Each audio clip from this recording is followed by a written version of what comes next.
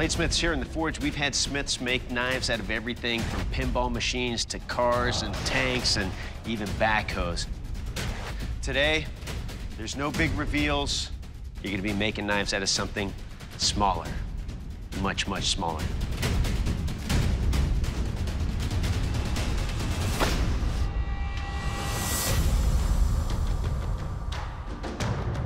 Gentlemen, what we have here is a big pile of high carbon steel drill shavings. We'd usually throw these away, but today we're gonna ask you guys to get scrappy and turn these steel shavings into a billet from which you will forge a signature blade. Good luck. Your three hour starts now. Getting the canister packed as tightly as possible with these shavings and the powder is gonna be tough. I'm very familiar with canister. That's my go-to. My game plan is to get the whiteout in it so I can peel the can off easier. Huh, hell of a mess. End up getting whiteout all over my face and all over the table. I think Ryan actually ate some of the whiteout. Just want to start compressing things a little bit before I really get after it. Well, I'm really impressed with Steve. He's got great heat. He's got great control of the press. He's the only one who didn't use whiteout, so he's just going to work with that steel can as it is. I try to give my canister a little bit more pressure to refine those welds. And then I'm ready to take this can off. I just try to split it lengthwise. Wesley used whiteout and used the flash dies in order to set the welds. I imagine there's a lot of air pockets inside there. The vise keeps moving, so I'm biting the vise and trying to get this can off at the same time. 20 minutes, Bladesmiths! Steve just quenched his blade over here. Pretty straight. Ain't bad. I've got time to get to the grinder and get some of that mild steel off from the can to where I'm down to the hard steel. I'm running out of time. I've got to grind down through the mild steel to get to the hardening steel. And to get a good solid quench. Ryan just quenched. He quenched at a pretty good temperature. Yeah, it was a little great. hot. When I pull it out of the oil, I see there's a slight warp in it, so I'm trying to take the warp out. Hey, there we go. All right. So Wesley has quenched his blade. One minute! I didn't see bad warps. Y'all gave me three hours. I'm using every bit of time that I can possibly use. Five, four, three, two, one. Bladesmith, shut down your machines, drop your tools, stop what you're doing. This first round of competition is over. Blade Smiths, welcome to the strength test. The trash can stab and chop. To test the tip of your blades, I'll be stabbing them into these trash cans, and to test everything else, I'll be chopping mercilessly into them as well. Remember, this test is all about what the cans do to your blades and not what the blades do to the cans. Ryan, you're up first. You ready? Tear it up. All right.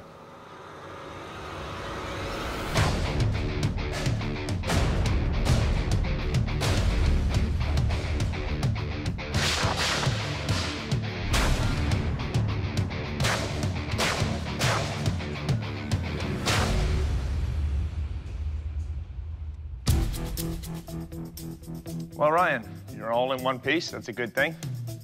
Looking at your edge here, there's a lot of serrations going on. I can get my fingernail underneath it. It's, it's rolled over pretty severely. Your tip held up great. Your handle, it's square but rounded a lot too. So it was rotating in my hand. I had to readjust to, to get it back. But uh, you took a bunch of scraps and you made a, a knife that holds up against a trash can. So well done for that. All right, Steve, you see what we're up to. How you feeling? Feel good. All right.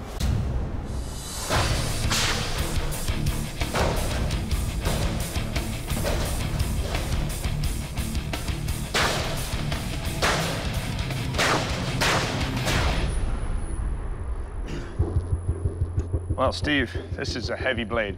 It's all still in one piece. There is, however, some rolling right here. One significant roll. As for the tip, there's some dulling that happened from, in, from going into the can. The handle, you, you left some flats on here, which is really comfortable. It kept me in place. All in all, well done. Thank you, sir. Wesley, you're up. How you feel? Ain't a word for it. all right.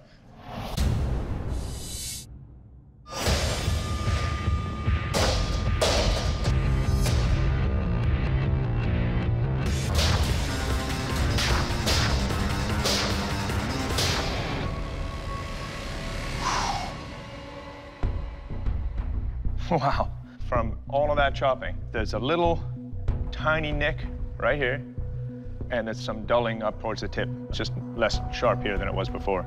Moving back to your handle, I like this palm swell idea. It really holds me in there nicely. There's a lot of guard here. Now you could take away almost three quarters of an inch of that and it'd still be a functional guard. But for a junkyard piece of pine, it held up really well. Thank you, sir. All right, bladesmiths, we're done with the trash talking. Now it's time to find out how sharp your blades are. This is the sharpness test, the leather bag slice. To test the sharpness of the edge of your blade, I'm going to take your weapon and slash across these thick leather bags. Now, unlike the strength test, this is all about what your blade's edge does to these leather bags.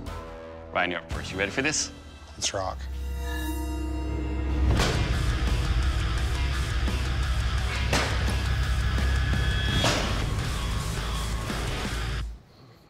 All right, Ryan, let's talk about your blade here. First up, your handle. It's comfortable. I can get a good grip in here. It's a void, I can tell where the edge is. On the first two strikes right there, you can see you got nice, clean cuts.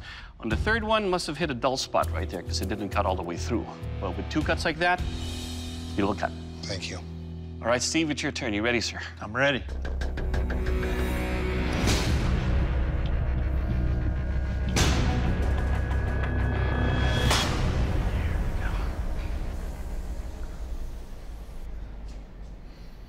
Right, Steve, let's talk about your blade here. First up, your handle construction. I like the design that you have here where the belly just drops into there like a finger weld and allows my hand to feel comfortable.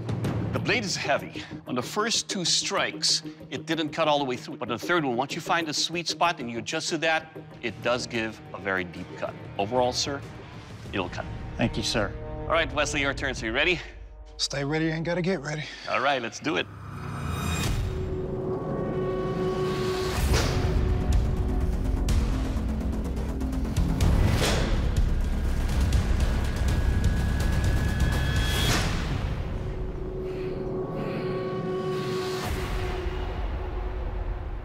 Right, Wesley, let's talk about your blade here. Your handle, it's comfortable. I like that you put the weld right there so I can get my good grip. Now your edge. You have a light, fast blade here. It is sharp in here, but the design for this particular leather bag, unfortunately, it will not cut. All right, bladesmiths, the judges have evaluated the performance of your blades, and the bladesmith leaving the forge is... Wesley, your blade didn't make the cut. Please surrender your blade. I'm happy because I made it way farther than I thought I was gonna make it, but uh, would like to keep pushing and keep fighting and make it to be Forged in Fire champion. But I'm proud of what I did. I've never even attempted anything like this before. First thing I'm gonna do, just get back to learning, get back to evolving, and just try to make myself better.